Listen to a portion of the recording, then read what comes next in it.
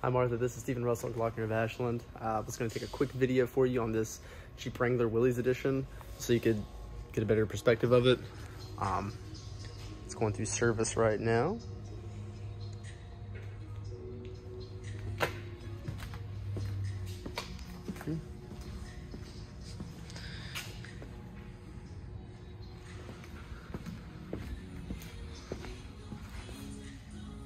Looks great on the outside.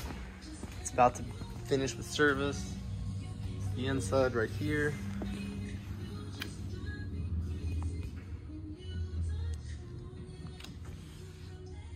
Uh, these are the Jeep covers, seat covers. It does have cloth, you can't really tell, but it does have cloth as the seat covers.